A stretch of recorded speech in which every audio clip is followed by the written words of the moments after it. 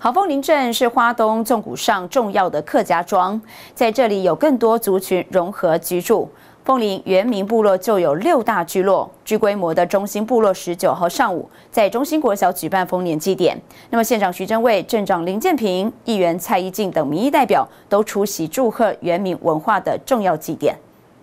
县长及镇长与五百多位的部落族人同欢，场面相当的热络。在活动中，头目带领族人向祖灵表达感恩与眷顾之意，祈求祖灵保佑族人在中心部落安居乐业。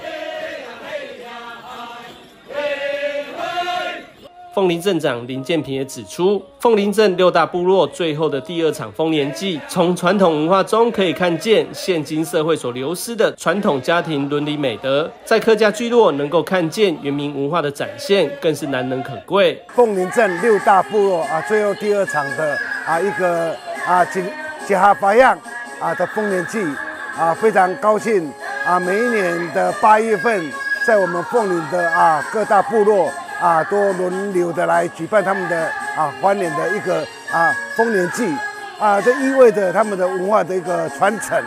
那从丰年祭的祭典里面，我们可以看到啊，在现今当今的社会上，我们已经丧失、流失了很多的家庭的伦理，但是我们都是在原住民的啊丰年祭里面，我们可以看到所有北漂、南漂的青年们都借由祭典啊回到部落。啊，来跟亲人啊相聚，然后传承的文化啊，这种是在我们一个客家小镇里面啊最难忍的族群融合啊。长期以来，我们公所对于原住民的各项事务的兴办以及各项福利的啊一个一个措施啊，我们都说尽最全力来照顾我们凤林这一块属于啊最自然啊最淳朴的一个原住民的文化。丰年祭的活动可以看见，从各地回到部落来的青年，以实际行动来维持部落文化祭典的用心。族人穿着族服，共同为部落的文化及古调延续而努力。